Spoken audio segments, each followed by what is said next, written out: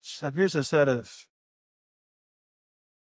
bald eagle eggs that were collected in 1906 in uh, Cat Island, South Carolina. And what I like to point out to people with these eggs is that many of the ones in our collection from bald eagles, ospreys, and uh, peregrine falcons were used in this incredible study in the early late 1960s, early 70s to document that eggshell thinning was actually happening in birds that were exposed to DDT versus birds that weren't.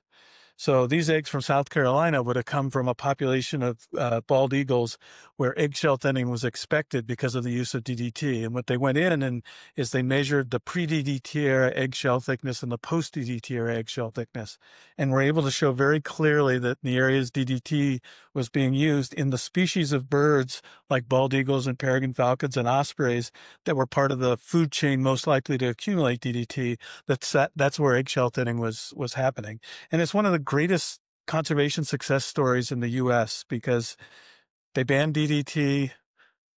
Bald eagles and peregrine falcons have come off the endangered species list. Ospreys are breeding all over the country.